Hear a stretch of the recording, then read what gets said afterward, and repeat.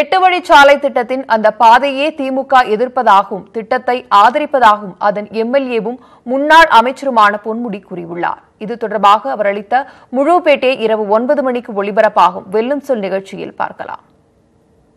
இல்ல என்னோட கேள்வி ஆமா. இந்த எட்டு வழிச்சாலை திட்டத்தை பொறுத்த மட்டும் திமுகவுடைய நிலைப்பாடு என்ன? இந்த திட்டம் தேவையா?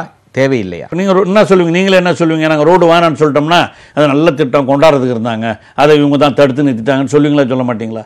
அதுக்கு சொல்றதுக்கும் ஆள் இருக்குல்ல? அதனால தான் விமர்சனத்துக்காக பயப்படுறீங்களா? விம்- ஆமா எல்லாமே தாங்க. அரசியல் கட்சின்னு சொன்னா எல்லாத்தையும் தான் பார்க்கணும். பொதுமக்களுடைய ஒப்பீனியன் எல்லாத்தையும் பார்த்து தானே நாங்க அரசியல் நடத்த முடியும். அரசியலுக்காக மட்டும் அல்ல ஆக இதை பொறுத்தவரையில இதனால் ஏற்படுகிற தீமைகள். அதே இல்ல, வந்து ஆல்டர்னேட்டிவ் ரூட் ஆல்டர்னேட்டிவ் இந்த- ரூட் இந்த போடலாம் திட்டத்துல.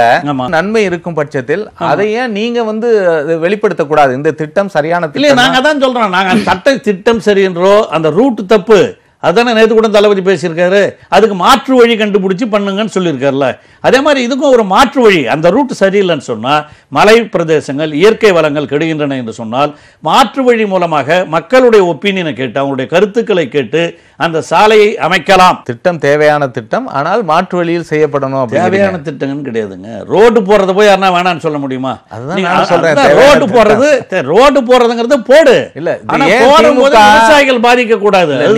நீங்க நீங்களும் ஏன் சுற்றி வளைத்து பேச என்னுடைய.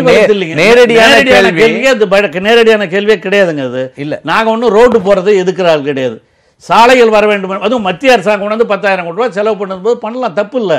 ஆனா அதை பண்ணும்போது எந்த வழியா பண்ணணுங்கிறத மக்களை கேட்டு நீங்கள் முடிவு செய்ய வேண்டும். சாலையை மட்டும் வேணாம்னு சொல்லிட்டோம்னு வச்சுங்க சாலையை போட கூடாதுன்னு சொன்னோம்னா அப்பயும் குறை சொல்றதுக்கு உங்களை மாதிரி நாலு பேர் இருப்பாங்க. நீங்க ஏங்க இந்த ரோடு வந்தால் எவ்வளவு பெரிய டெவலப்மெண்ட் வரும்? அதை ஏங்க கெடுத்துட்டீங்கன்னு கேட்பாங்க. நாங்க ரெண்டுலேயும் இருக்கிற ப்ரோஸ் அண்ட் கான்ஸ் இதனுடைய நன்மை தீமைகளை எல்லாம் அலசி பார்த்து தான் தளபதி இந்த முடிவை எடுத்திருக்கிறார்.